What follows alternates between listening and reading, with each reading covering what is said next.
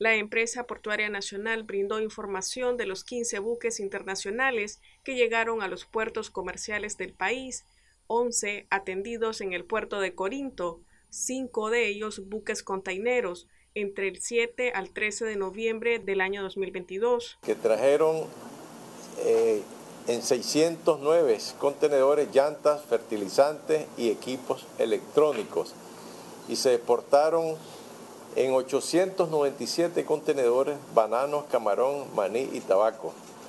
Ahí pueden ver ustedes cómo ha venido creciendo siempre las exportaciones en nuestro país. Desde la terminal ubicada en el municipio del Rama se garantiza el abastecimiento para las comunidades caribeñas y se exportan importantes productos de demanda internacional.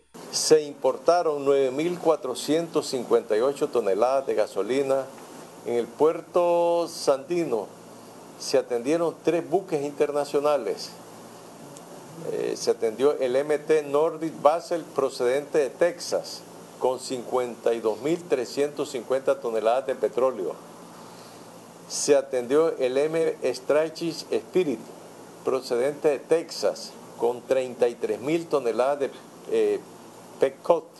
Es materia prima que se importa para las cementeras se atendió el EPG nórdico procedente de la República Dominicana con 2.770 toneladas de gas licuado. Mientras tanto, en el puerto de Bluefield fueron atendidos 54 buques pesqueros en el recorrido turístico de la embarcación Hilario Sánchez en la ruta Bluefield-Corn Island. Se atendieron 218 pasajeros.